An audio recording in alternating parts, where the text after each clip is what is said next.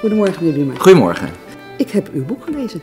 Wat leuk. Ja, Ja. ja. u heeft een boek uitgebracht en dat heet Tegen het cynisme. Ja.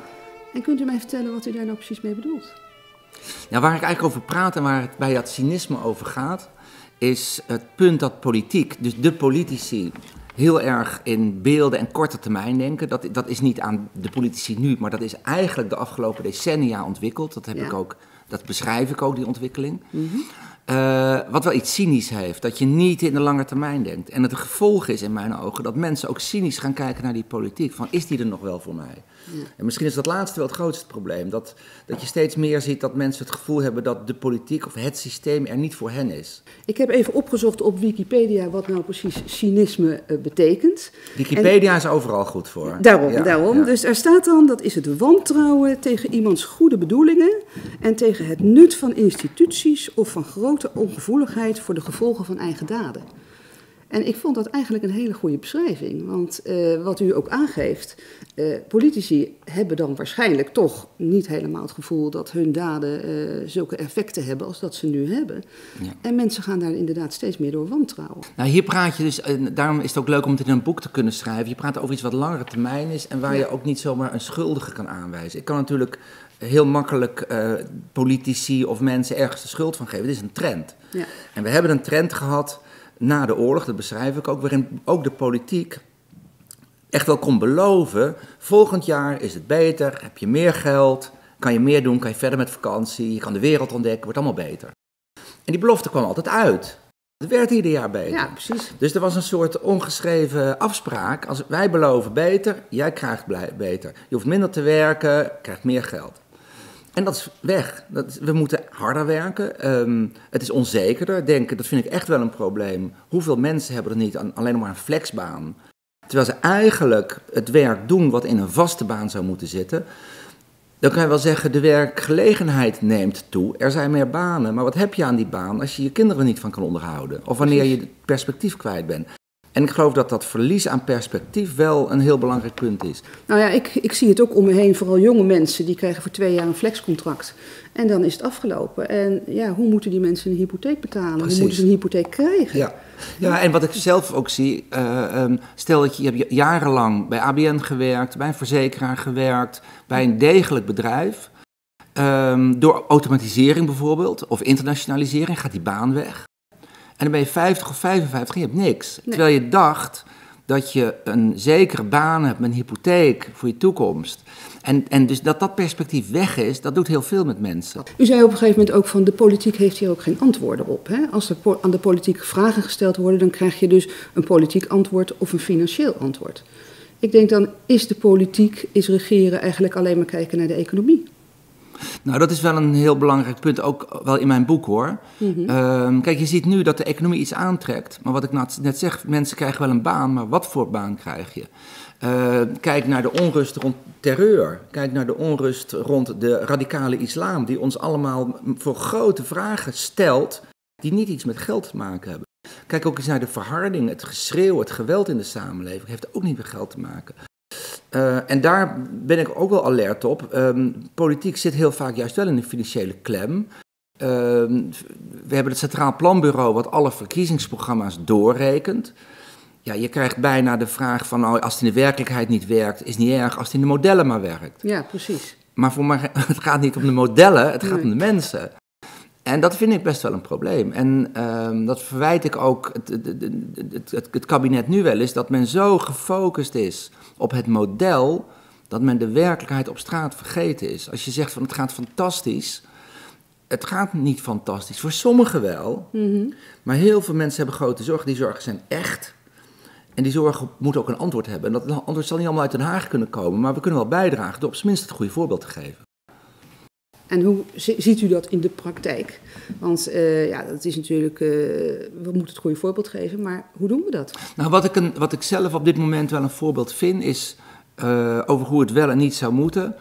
We hebben in de Kamer, op dit moment in de Tweede Kamer, een wetsvoorstel. En dat moet het beledigen en haatzaaien uit het wetboek van strafrecht halen. Maar waarom, waarom hebben we die artikelen? Waarom is dat verboden? Omdat we niet willen dat Joden worden eh, geconfronteerd met de holocaust. Dat mag je niet ontkennen. Omdat we niet willen dat mensen, dat extreem rechts mensen beledigt. Omdat we niet willen dat moslims, joden, christenen onnodig worden beledigd. En als je dus het omdraait, wat dus nu gebeurt, en zegt van ja, maar beledigen is een recht. En je moet niet zo zeuren als je beledigd wordt. Dan vind ik dus dat we totaal de verkeerde groep beschermen. Wij moeten die mensen beschermen die kwetsbaar zijn en die dus onze steun nodig hebben. Denk ook aan de belediging van homo's, soms door radicale moslims. Dan zeggen we niet, nou prima, beledig maar. Verbieden, mag niet.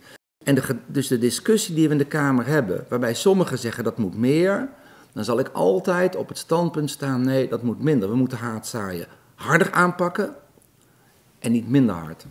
En dat vind ik precies op dat punt van, van, de, van het fatsoen in de samenleving. Maar u heeft het nu over minderheidsgroeperingen, zou ik maar zeggen. Hè? Homo's, joden, eh, moslims. Uh, hoe is het dan met haatzaaien uh, en stalken en allemaal van dat soort dingen? Want ook Nederlanders worden natuurlijk op de een of andere manier vaak zwart gemaakt. Of, en ik heb de ervaring in mijn omgeving dat Nederlanders die uh, gestalkt worden, uitgescholden worden, dat die naar de politie gaan om aangifte te doen en daar dus totaal geen aangifte kunnen doen. Dat hoor ik heel veel. En sterker nog, dat is de afgelopen week ook duidelijk geworden dat het zo is. Want het kabinet zei steeds de criminaliteit daalt. Maar wat blijkt, heel veel criminaliteit wordt niet meer aangegeven. Nee, de aangiftes dalen. De aangiftes dalen. Ja. En als je al aangifte doet, wat u ook zegt, dan zegt de politie, ja, maar dat is niet erg. We hadden het net even over Amerika. En ja, eh, als we dus zien wat daar natuurlijk nu eh, met Trump gebeurt, die is natuurlijk zelf ook niet het lichtend voorbeeld van. Eh, hoe je fatsoenlijk met elkaar omgaat. Maar uh, ik heb daar wel gezien dat het nationalisme, het gevoel voor eigen land, van uh, grote banners voor de deuren van Trump, Make America Strong Again, uh, dat leeft natuurlijk wel heel erg in Amerika. En u heeft ook beschreven dat dat eigenlijk in Nederland, de trots op ons land ja. en, en voor ons land, dat dat eigenlijk hier ook weggezakt is. Ja. Ja, dat is een mooi voorbeeld. Ik heb in mijn boek inderdaad ook een vergelijking gemaakt met de Verenigde Staten. Ja. Uh, in de Verenigde Staten heb je in Philadelphia het uh, Onafhankelijkheidspark, Independence Park, met Independence Hall en de Liberty Bell. En um, daar komen miljoenen mensen, schoolklassen. Ik ben daar zelf als toerist geweest. Mm -hmm. En daar ga je echt in geloven als je daar rondloopt. Dat ja. is een nationaal park, dat is groot en dat is heel bijzonder. Mm. En ik heb dat vergeleken met eigenlijk de, de, de vergelijkbare plek in Nederland. En niemand weet hem te vinden. Maar dat ja, ik nu wel. Oké, okay, nou nu wel. In, in Utrecht, ja, op het Domplein, daar heb je het academiegebouw. En achter het academiegebouw ligt de oude kapittelzaal van de Domkerk. En daar is in 1579 de Unie van Utrecht gesloten. Ja. Uh, die zaal vind je niet, want je moet student zijn of professor om het te mogen zijn. Uh, er is ergens een deur en er staat dan een bordje, hierachter is de kapittelzaal. Maar niemand weet het te vinden. Nee.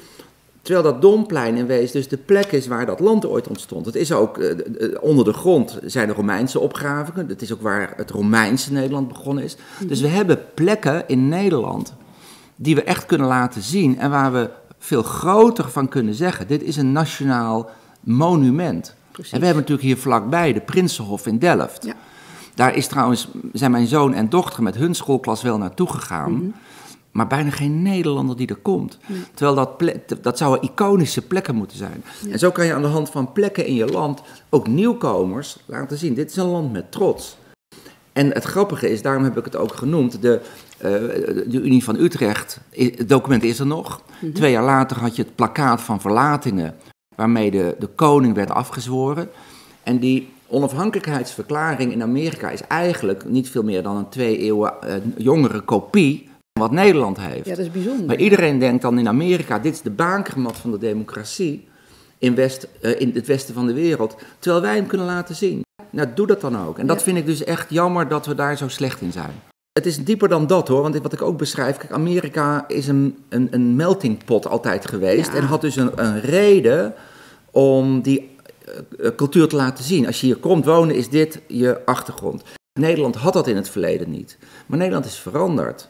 En we zijn vergeten dat bij dat land Nederland, waar zoveel mensen van buiten zijn gekomen, ook hoort dat we veel harder vertellen: dit is ons land, dit zijn onze waarden, Precies. dit zijn onze normen, dit is de geschiedenis. En dat wordt een gedeelde geschiedenis. Niet je Marokkaanse of je Turkse geschiedenis, dit wordt jouw gedeelde identiteit.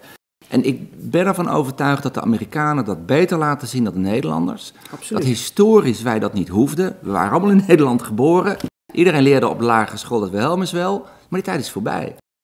Dus in plaats van alleen maar de vluchtelingen en de allochtonen, dus dat mag niet meer zeggen, geloof ik. Nou, ik zou het gewoon doen hoor. Ja, de schuld te geven, zouden we ook eens hand in eigen boezem moeten steken en denken van ja, als we willen dat die mensen zich aanpassen, moeten we ook wel zeggen waaraan ze zich aan moeten passen. Nou, dat vind ik dus heel belangrijk. Als je zelf niet meer weet waar je vandaan komt, hoe kan je het dan anderen uitleggen? Neemt overigens niet weg dat we wel, als het gaat om immigratie, wel strikt moeten zijn hoor. Ja. Uh, ik geloof echt dat uh, wij, wij hebben veel immigranten die naar Nederland zijn gekomen. Mm -hmm. Maar als ik kijk welke grote uitdagingen er om de grenzen van Europa heen liggen, mm -hmm. dan moeten wij strikt zijn. Dan moet Europa ook strikter zijn. Het kan niet anders. Nee. Maar dan nog zullen wij in dit land, waar veel mensen van buiten zijn gekomen, denk ook aan ons gebied, waar heel veel mensen misschien tijdelijk vanuit het buitenland komen. Er wonen in de regio Wassenaar, Leiden, uh, Voorburg, Den Haag enorm veel expats. Ja. Die denken ook van, wat voor land ben ik terechtgekomen? Ja. Laat hun ook leren dat ook als je hier een aantal jaren woont wij wel een aantal waarden en normen met elkaar hebben. Maar het is natuurlijk best wel moeilijk, omdat uh, wij natuurlijk vanuit de joods-christelijke traditie onze waarden en normen hebben opgebouwd. En er zoveel ontkerkelijking is, ontkerkelijking is dat mensen eigenlijk ook zelf niet meer weten wat hun waarden en normen zijn en waar het vandaan komt. Ja. Ondanks dat mensen niet meer naar een kerk gaan, zijn die waarden nog steeds heel belangrijk. En wat heeft dat christendom ons gebracht? Daar komt uiteindelijk vandaan het besef dat ieder mens gelijkwaardig is. En in dat christendom is dat gelijkwaardigheid voor God. Dus dat is een religieus iets. Maar voor die tijd had je een veel meer uh, in, in, in uh, segmenten ondergedeelde samenleving. De slaaf was echt de slaaf. En de koning was vaak de halfgod, ja, letterlijk. Ja. En de goden dobbelden een beetje om de mensen. Toen kwam er een besef dat ieder mens zijn eigen waarde heeft. Maar, en dat is het tweede, dat die mens wel alleen maar die waarde heeft als hij ook een verantwoordelijkheid neemt voor de ander, voor het geheel. Dat hij niet in zijn eentje maar wat kan doen, dat hij gezamenlijk moet optreden. Dus die balans in onze samenleving tussen rechten aan de ene kant, maar ook altijd plichten aan de andere kant, dat wil ik terugbrengen. Onze ja. Nederlandse grondwet. Die werd ingevoerd toen ik begon te studeren, in 1983. Ja. En daar, dat, dat, dat leerde ik echt als een soort vervolmaking van een samenleving. Dat was de Nederlandse grondwet. Als je nu leest, de eerste 25 artikelen ongeveer zijn allemaal rechten. Rechten van de burger tegen de overheid, rechten op overheidsoptreden, de overheid mag van alles doen. Maar plichten, nou ja, er stond nog een dienstplicht op, die, en die hebben we allemaal niet meer. Nee. Dus het, het, beeld is dat een samenleving bestaat uit rechten. En wat ik heb opgeschreven is dat er zijn wel eens vingeroefeningen gedaan of je dat kan omdraaien. Mm -hmm. En dat je kan zeggen van, weet je, vrijheid van meningsuiting heb je, die vrijheid heb je, maar die hebben we wel. Maar de vraag is hoe je ermee omgaat. Dus dat wordt dan omschreven als niet u heeft vrijheid van meningsuiting, maar iedereen moet zijn vrijheid van meningsuiting gebruiken op een manier dat die ander niet beledigt onnodig. En dat draait om. Net zoals vrijheid van godsdienst. Vrijheid van godsdienst is in Nederland, maar je mag hem niet gebruiken ten nadele van anderen. Daar hoort geen geweld bij, daar hoort geen haatzaaien bij, daar hoort geen discriminatie bij. En als je dat nou eens omdraait, krijg je eigenlijk een ander soort samenleving mm -hmm. die veel meer aan elkaar denkt. Wat ik, wat ik een, een, een heel belangrijk punt vind, is in, nou, letterlijk het woord de zorg. Mm -hmm. Daar moet de overheid een heleboel doen, maar we zullen zien dat we ook voor elkaar moeten zorgen. Maakt die overheid dat makkelijker of maakt die dat moeilijker? Nou, als je nu mantelzorger bent, weet je vaak door de boom het bos niet te vinden. Het woud van regels, het woud van, van, van uh, gemeentelijke voorschriften die veranderen. Het is bijna niet te doen. Nee, en iedere gemeente heeft weer een ander voorschrift. Iedere gemeente doet het ander, maar, maar ja. um, mijn ouders die zijn halverwege de tachtig en daar zie ik het gebeuren. Je weet steeds meer dat je op elkaar aangewezen bent, maar heb je nog een steuntje in de rug? Dat steuntje in de rug is er niet meer. Maar ook niet, ik geloof ook dat daar de overheid wel zijn taak moet nemen. Maar die is er niet. Die is niet voor die mantelzorger. Die wordt er nauwelijks bij betrokken als het gaat om welke zorg heb je nodig. Het mooie van mijn werk is dat ik op heel veel plekken kom en vaak kom je ook bij scholen. En het, uh, het enthousiasme van docenten is enorm. En het gekke is, ze vragen vooral vaak, maar ik weet toch wel wat ik wil en wat die kinderen willen, maar waarom moet ik zo binnen strenge regeltjes opereren? En ik denk dus dat als we het onderwijs meer op maat maken, op maat van de kinderen, maar ook op maat van de school, de ouders en de, de wereld daar, mm -hmm. dat we het onderwijs ook beter kunnen krijgen. Het CDA geeft toch, uh, dat lees ik tenminste in de kranten, vaak een beetje een stoffig imago. Hè, er zijn natuurlijk uh, mensen, die, politici, die, oh, die staan daar uh, op de kansel, bij wijze ja. van spreken. En die weten zichzelf enorm te presenteren, maar vinden ook geen oplossingen natuurlijk. Maar in deze vluchtige individualistische maatschappij zijn mensen toch geneigd om daarvoor te kiezen of te luisteren daarnaar. Uh, ook in de tijd van Ruud Lubbers was dit imago er al. En toch won het. Ook in de tijd van Jan-Peter Balkenende had het CDA dit imago. Maar het leven is, is iedere dag voor heel veel mensen een opgave. Is niet iedere dag lekker springen door de, via de media en dan een dagje weer verder en een dag later weer vergeten.